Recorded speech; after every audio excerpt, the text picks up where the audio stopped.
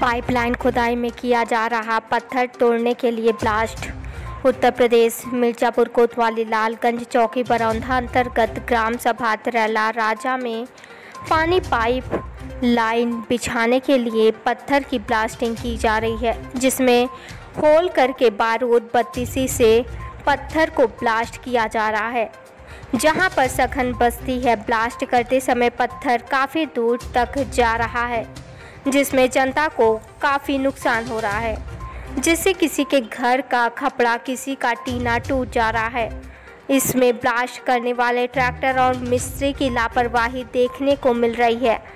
इसलिए वहाँ की ग्रामीण जनता इसका विरोध कर रही है।